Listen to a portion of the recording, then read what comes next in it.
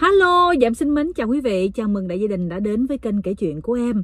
Mến chúc mọi người một ngày thật là nhiều niềm vui và có những giây phút thư giãn khi mà xem những clip của em. Thì à, đến với chương trình hôm nay, em xin gửi đến quý vị một cái bí mật động trời, bốn cách dụ một người đàn bà phụ nữ đã có chồng ngoại tình. Cực kỳ dễ luôn mà em nghĩ rằng ai cũng làm được hết thì à, chắc sẽ có nhiều người cảm thấy bức xúc. Tại sao không dụ một người phụ nữ chưa có chồng ngoại tình mà lại dụ một người phụ nữ đã có chồng ngoại tình chi? Thật ra, đàn bà phụ nữ có chồng rồi, họ có những cái sức quyến rũ, họ có những cái nét đẹp mà khiến cho đấng mày râu, đặc biệt là những anh chàng phi công trẻ, rất là khao khát được chinh phục.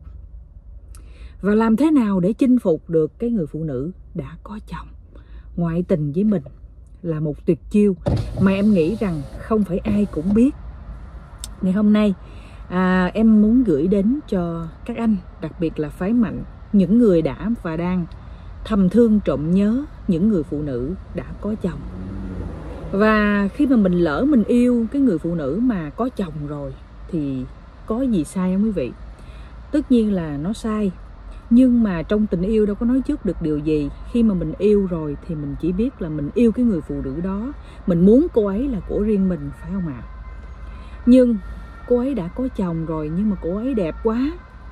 Chịu không nổi luôn quý vị ơi. Thì bây giờ phải làm sao? Bỏ cuộc ư?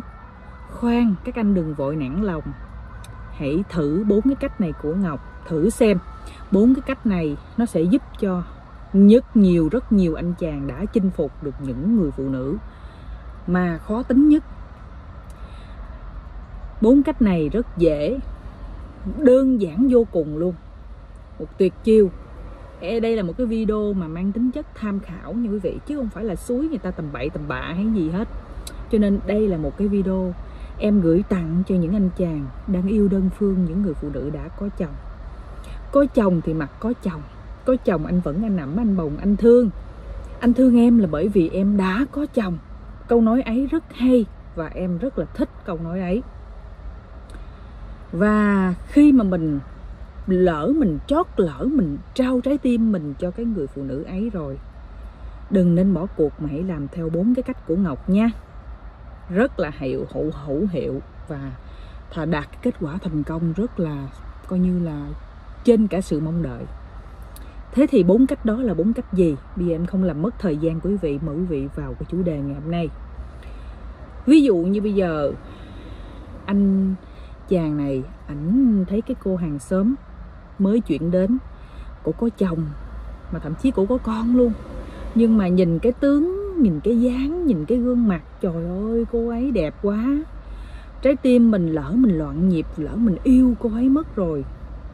Nhưng mà cổ có chồng rồi bây giờ phải làm sao? Phải làm sao đây? Ngay trong clip này, em xin phép chỉ cho các anh biết cái bí mật động trời đó là là như thế nào. Cách thứ nhất, mình hãy tiếp cận cô nàng.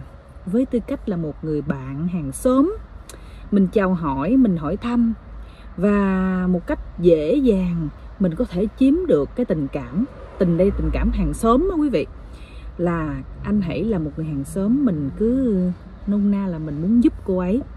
Ha mình muốn giúp cổ là coi như là em ơi um, anh thấy anh chồng em đi vắng đi làm cũng như uh, có khi nào mà em thấy á, mà ở nhà em mà có hư điện hư ga hư nước hư đồ đó thì em cứ alo nói anh tiếng. Anh sẽ coi như là anh sửa giùm cho anh không có tính công gì đâu hàng xóm mà thì cô nàng sẽ cảm thấy ồ sao cái anh này ảnh ở hà kế bên nhà mình mà sao ảnh tốt bụng quá? Và cô nàng này cảm thấy rằng không có đặt cái sự hoài nghi và muốn làm bạn với anh. Trước khi mà mình chuyển tình yêu tình tình yêu mình đi đến tình yêu á, thì mình phải đi đến tình bạn trước. Từ tình bạn đi đến tình yêu nó nhanh lắm mà nó rất là gần.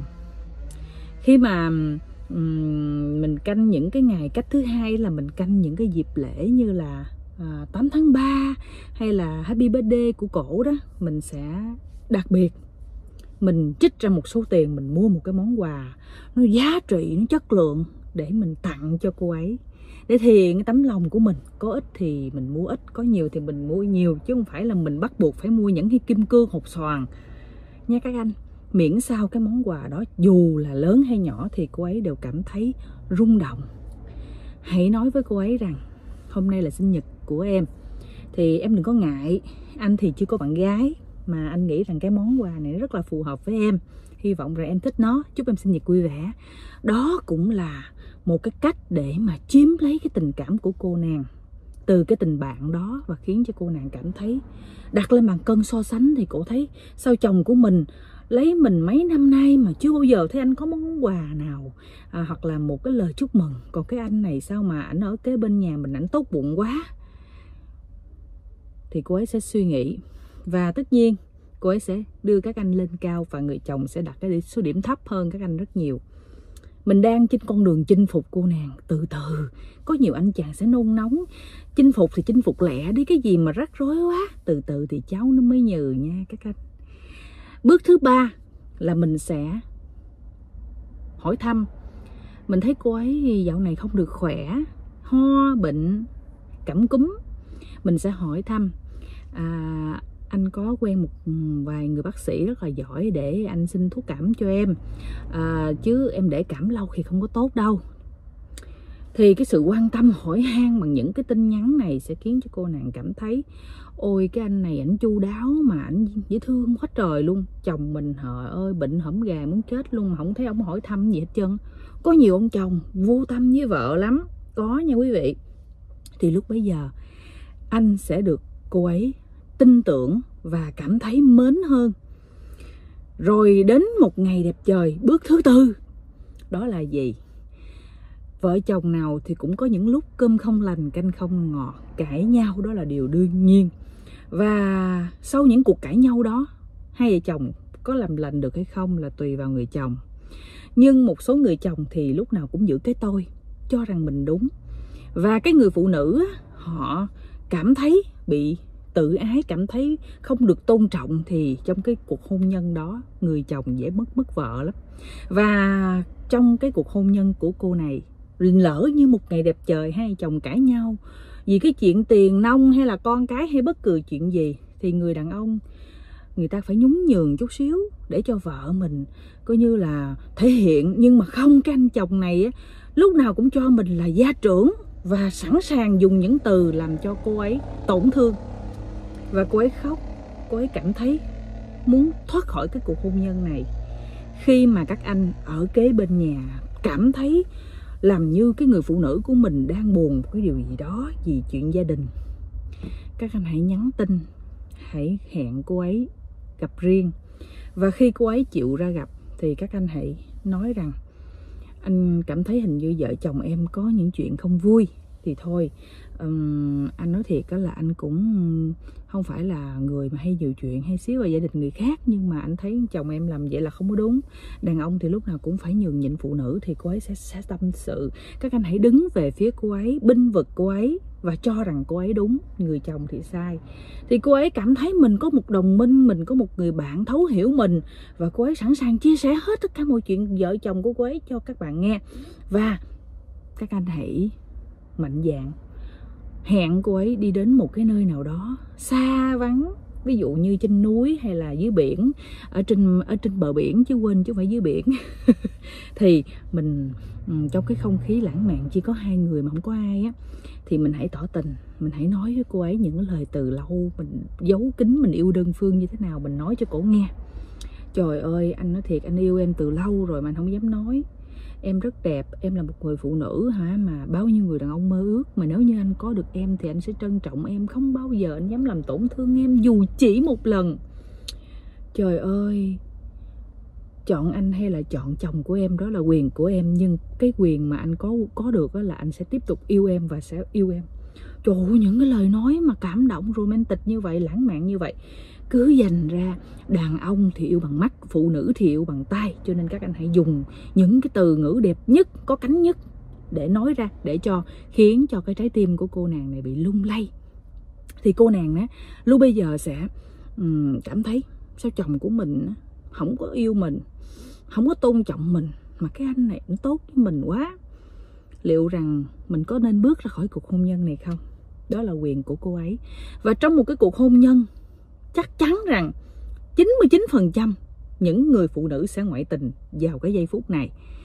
Và chúc mừng các anh đã thành công. Nếu các anh làm thua đúng cái bước của Ngọc, bốn bước, bốn cách để dụ một người phụ nữ đã có chồng ngoại tình. Rất là dễ, rất là đơn giản luôn. Thì có nhiều người sẽ nghĩ, ô, tại sao làm những cái clip gì mà suối người ta phá hoại gia đình người khác? Thưa quý vị, không ở đây là ngọc muốn giúp những anh chàng yêu, những cái người phụ nữ đã có chồng. Mà họ không có dám lên tiếng, họ cứ yêu đơn phương mà lỡ như cái người phụ nữ đó, người ta cũng không hạnh phúc cho hôn nhân của họ. Họ muốn thoát khỏi cái cuộc hôn nhân đó, họ muốn gặp một người đàn ông hiểu mình hơn. Thì các anh có sẵn sàng, có quyền mình mang đến hạnh phúc cho cô ấy.